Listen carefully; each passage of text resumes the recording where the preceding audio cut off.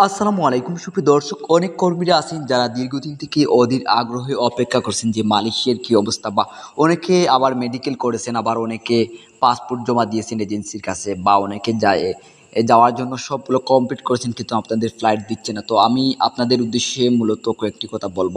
অর্থাৎ আপনারা জানেন যে মালয়েশিয়া কিন্তু খুবই ভালো একটি কান্ট্রি অর্থাৎ মালয়েশিয়ার যে কাজগুলো কিন্তু ইউরোপের মতো একটু দীর্ঘতি হচ্ছে। আশা করছি এই দীর্ঘটিগুলাও কেটে যাবে। আপনারা জানেন যে অফিসের সিস্টেম বা এটিও কিন্তু খুব শর্ট করা হয়েছে। আর আপনারা জানেন যে মালয়েশিয়ার মন্ত্রীও কিন্তু খুবই কর্মী বান্ধব। তিনি যতটুকু কর্মীদের জন্য করার প্রয়োজন তিনি করে যাচ্ছেন এবং আমাদের প্রধানমন্ত্রীও তিনি গুরুত্ব সহকারে এই বিষয়টি দেখছেন যেন কর্মীরা মালয়েশিয়ায় গিয়ে একটি ভালো অবস্থানে থাকতে পারে এবং একটি ভালো পজিশন থাকতে পারে। এ বিষয়ে যতটুকু করার প্রয়োজন আসলে কিন্তু করে যাচ্ছে এবং আমাদের সরকার সহ ঊর্ধ্বতন কর্তৃপক্ষ এবং বয়েস হলো আপনারা জানেন যে একটি বিজ্ঞপ্তি দিয়েছে যে বাংলাদেশ থেকে সম্পূর্ণ সরকারি করেছে বা মালয়েশিয়াতে কর্মী পাঠানোর জন্য।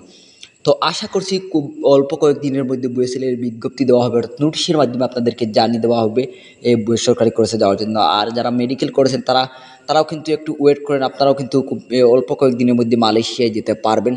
আপনারাও অনেকে দুশ্চিন্তায় রয়েছেন, সেটি কিন্তু, আর সেই চিন্তাও কেটে যাবে। আর যারা মেডিকেল করছেন আপনারাও অপেক্ষা অপেক্ষা করেন, আপনাদের দীর্ঘতিটা কেটে যাবে।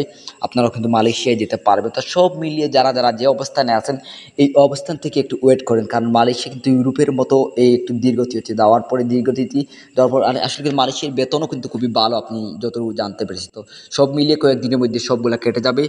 আপনারা অপেক্ষা করেন মালয়েশিয়ায় যেতে পারবেন। ধন্যবাদ সবাইকে।